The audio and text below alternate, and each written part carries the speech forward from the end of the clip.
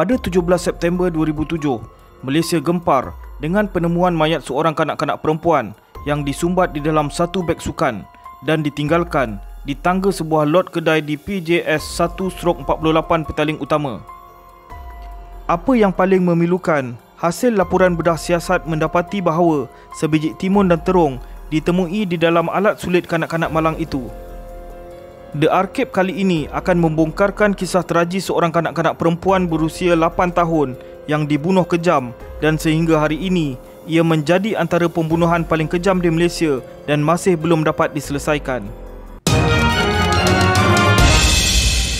Sekiranya bermanfaat, jangan lupa untuk tekan subscribe dan butang loceng bagi update terbaru video-video dari channel ini.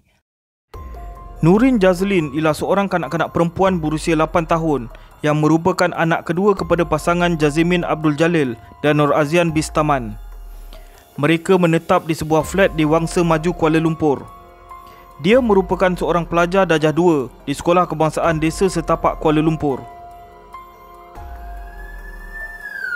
Pada malam kejadian, Nurin telah keluar bersendirian ke pasar malam berdekatan rumahnya sekitar jam 8.30 malam untuk membeli barang kegemarannya iaitu klip rambut. Selalunya, Nurin akan pergi ke pasar malam itu dengan kakaknya yang dikenali dengan nama Nurin Jashira. Namun begitu, pada malam itu Nurin memilih untuk pergi seorang diri. Ibunya pula membenarkan Nurin berbuat demikian, memandangkan jarak pasar malam dengan kediaman yang mereka diami sangat dekat. Detik demi detik, kelibat Nurul tidak muncul-muncul. Risau ada sesuatu yang buruk menimpa anak kesayangannya itu Nur Azian terus pergi ke lokasi pasar malam berkenaan untuk mencari Nurin. Pencariannya bagaimanapun tidak berjaya. Malah peniaga-peniaga di situ juga tidak nampak kelibat Nurin pada malam itu. Nur Azian terus mencari anaknya itu sehingga ke setapak. Dia risau kerana Nurin mengalami masalah buah pinggang dan tekanan darah tinggi. Keadaan itu memerlukan Nurin untuk makan ubat pada setiap hari. Jika tidak, badannya akan mula membengkak. Memandangkan pencarian pada malam itu menemui jalan buntu, kedua-dua ibu bapa Nurin bertindak membuat laporan polis mengenai kehilangan anak mereka. Pihak polis mendedahkan bahawa mereka telah menerima maklumat daripada seorang sepupu Nurin yang tinggal berdekatan dengan kediaman mereka. Menurut sepupu Nurin, pada malam kehilangan kanak-kanak tersebut, dia juga berada di pasar malam itu dan terlihat seorang lelaki berusia sekitar 20-an berdiri di sebelah van putih sebelum menarik Nurin masuk ke dalam van itu. Nurin dipercayai meronta untuk melepaskan diri sambil menjerit tak nak tak nak berulang kali sebelum diseret masuk ke dalam van oleh lelaki itu. Sebaik sahaja menerima maklumat itu, lebih 100 orang anggota polis dikerah untuk melakukan pencarian terhadap kehilangan Nurin. Turut serta dalam pencarian itu termasuklah anggota rela dan juga rukun tetangga. Setiap sudut termasuk rumah, tapak pembinaan, bangunan dan juga semak telah diperiksa namun usaha itu masih tidak meletakkan titik noktah terhadap kes kehilangan Nurin. Sebanyak 500 risalah telah diedarkan kepada pekerja warga asing dari Indonesia bagi membantu mengesan Nurin. Pada masa itu, pelbagai pihak mengumumkan akan memberi ganjaran kepada sesiapa yang dapat memberi maklumat tentang Nurin sehingga menjadikan jumlah keseluruhan ganjaran kepada RM18,000. 13 hari selepas kehilangan Nurin, bantuan pakar forensik hipnosis iaitu Dr. Sazali Ahmad telah digunakan bagi mengesan lokasi kanak-kanak itu dengan menggunakan kaedah pandangan jarak jauh atau disebut remote viewing. Ia merupakan sejenis teknik saintifik yang diperkenalkan oleh pasukan perisik tentera Amerika Syarikat bagi mengumpulkan maklumat mengenai sasaran termasuklah lokasi sebenar mereka dan apa yang mereka sedang lakukan ketika itu.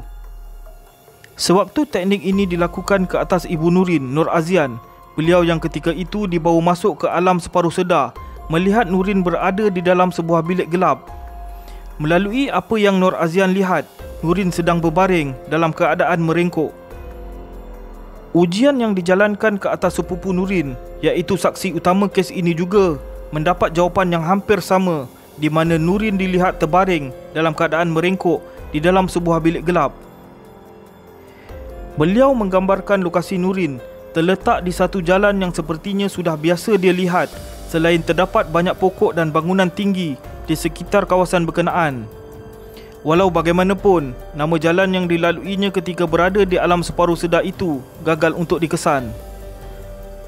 Ujian yang sama dilakukan ke atas salah seorang pelajar simfoni minda akademi milik Dr. Sazali mendapati Nurin dilihat sedang dijaga oleh dua orang lelaki di mana seorang berbadan tegap dan seorang lagi agak kurus.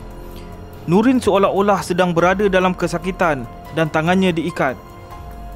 Berdasarkan maklumat menerusi teknik remote viewing itu, pihak polis melakukan pencarian di Jalan Kelang Lama dan berjaya menemui sebuah van berwarna putih yang pada mulanya disangka kenderaan yang dilihat membawa Nurin pada malam 20 Ogos. Namun begitu, hasil siasatan akhirnya mengesahkan bahawa ia tiada kaitan dengan kes kehilangan Nurin. Penemuan mayat seorang kanak-kanak perempuan yang disumbat di dalam satu beg sukan telah menggemparkan seluruh masyarakat. Beg berisi mayat itu ditinggalkan di tangga sebuah lot kedai di PJS 1-48 Petaling Utama. Beg berwarna hitam dan biru itu ditemui oleh penyelia sebuah syarikat pengedar buku iaitu Chen Yan Fang sekitar jam 8.30 pagi di luar premis kedainya. Pada mulanya, Chen menyangka ia milik salah seorang stafnya iaitu Jack Yo Huap Lip yang baru saja tiba di Petaling Jaya dari Singapura namun dinafikannya. Setibanya Jack di sana, dia terus membuka beg itu dan terkejut apabila ternampak sepasang kaki. Tanpa membuang masa, dia terus menghubungi pihak polis. Apa yang lebih mengejutkan, laporan bedah siasat mendapati bahawa sebiji timun dan terung ditemui di dalam alat sulit kanak-kanak malang itu. Terdapat juga kesan lebam pada leher kanak-kanak yang berusia sekitar 8 hingga 9 tahun itu sekaligus memberi bayangan dia barangkali dicekik. Pihak polis percaya kanak-kanak itu telah menemui ajal lebih dari 6 jam sebelum mayatnya dijumpai. Pihak polis meminta sesiapa yang ada kehilangan anak perempuan ketika itu untuk menghubungi ibu pejabat polis memandangkan identiti kanak-kanak itu masih belum dikenal pasti. Jazimin dan Nur Azian telah dipanggil ke bilik mayat Hospital Kuala Lumpur HKL untuk membuat pengecaman pada hari ke-26 kehilangan anak mereka disebabkan Nurin Jazlin tergolong dalam senarai kanak-kanak perempuan yang telah dilaporkan hilang.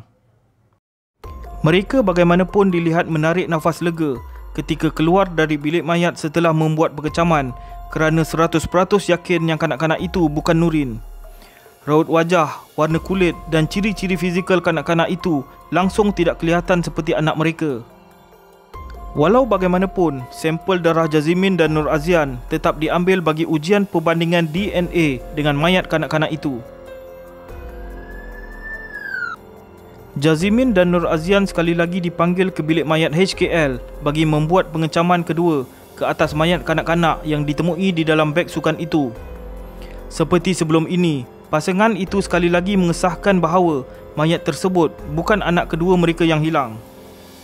Walau bagaimanapun, pada hari yang sama, jam 2 petang, pihak polis telah mengadakan satu sidang media untuk mengesahkan bahawa mayat kanak-kanak itu ialah Nurin Jazlin. Pengesahan itu dibuat berdasarkan padanan menerusi ujian DNA. Setelah beberapa ketika, kedua-dua orang tua Nurin akhirnya menerima kenyataan bahawa anak mereka sudah tiada. Mayatnya kemudian dituntut oleh keluarganya dari Hospital Kuala Lumpur HKL dan dikebumikan di tanah perkuburan Islam Taman Ibu Kota Setapak Kuala Lumpur. Keluarga terdekat dan ribuan orang ramai tanpa mengira peringkat umur dan kaum turut menziarah. Pada hari yang sama, siasatan untuk mencari dalang di sebalik pembunuhan tragis Nurin telah dimulakan. Satu pasukan khas telah dibentuk diketuai oleh pengarah Jabatan Siasatan Jenayah Bukit Aman iaitu Christopher Wan Soki. Lima orang suspek telah ditahan berhubung kes Nurin selepas siasatan secara menyeluruh dijalankan. Namun begitu, empat orang daripadanya dibebaskan sejurus selepas penangkapan itu dilakukan kecuali seorang wanita warga Indonesia. Difahamkan pihak polis tidak mempunyai bukti kukuh untuk mendakwa mereka memandangkan ujian DNA yang dilakukan ke atas mereka berempat tidak sepadan dengan DNA yang ada pada mayat Nurin. Walau bagaimanapun, pihak polis enggan mengulas lanjut berkenaan apa kaitan wanita tersebut dengan kes Nurin. Tetapi mereka menjelaskan bahawa dia telah menelan satu kad SIM ketika dalam perjalanan ke Mahkamah Seksyen Petaling Jaya dari Ibu Pejabat Polis di Bukit Aman. Kad SIM itu dipercayai mengandungi maklumat penting bagi menyelesaikan kes pembunuhan Nurin. Pihak polis mendedahkan bahawa kad SIM itu didakwa digunakan wanita tersebut untuk menghantar pesanan ringkas yang mendakwa Nurin ada bersamanya ke nombor hotline polis. Pihak polis telah berkongsi video penculikan Nurin dengan kualiti yang lebih baik kepada umum. Dalam video itu, seorang lelaki dilihat membawa beg Diadora. Dia kemudiannya meninggalkan beg itu di tempat mayat Nurin ditemui. Dalam rakaman lain pula, seorang wanita memakai baju merah bersama dengan tiga orang lelaki dilihat berada di kawasan tersebut. Walau bagaimanapun, kualiti rakaman video yang dipertingkatkan di Makmal Forensik FBI Washington itu masih tidak dapat meletakkan titik noktah terhadap siasatan kes tersebut. Sehingga sekarang, pembunuh Nurin masih lagi berlega-lega di luar sana. Kes ini masih dibuka dan masih tiada pendakwaan dilakukan kerana petunjuk yang sangat sedikit. Identiti lelaki bermotosikal yang telah meletakkan beg berisi mayat Nurin dan penyenayah yang beroperasi dari van putih terus menjadi misteri yang tidak dapat diselesaikan oleh pihak polis sehingga ke hari ini. Sekian saja untuk kali ini. Jika terdapat sebarang pandangan berkaitan video yang diberikan, anda boleh kongsikan komen anda di bawah. Dan sekiranya video ini bermanfaat, jangan lupa tekan butang subscribe dan loceng untuk mendapatkan update-update terbaru dari channel ini. Sekian terima kasih dan jumpa lagi.